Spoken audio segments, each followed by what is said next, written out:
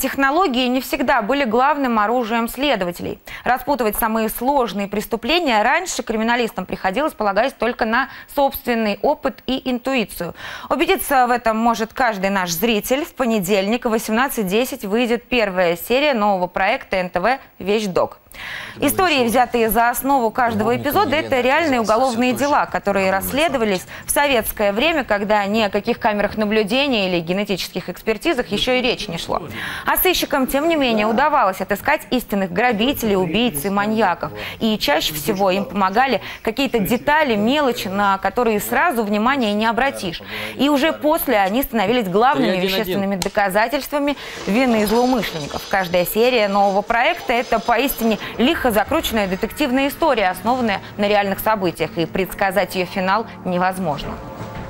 Нас не интересуют преступления.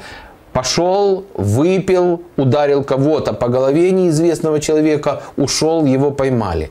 Это не наш формат. Нам интересно разобраться, почему так произошло. Любое преступление обусловлено отношениями людей. В этой истории должны присутствовать... Кстати, несколько серий проекта «Вещдок» будут посвящены тем преступлениям, которые удавалось раскрыть лишь спустя несколько десятилетий. Жадность,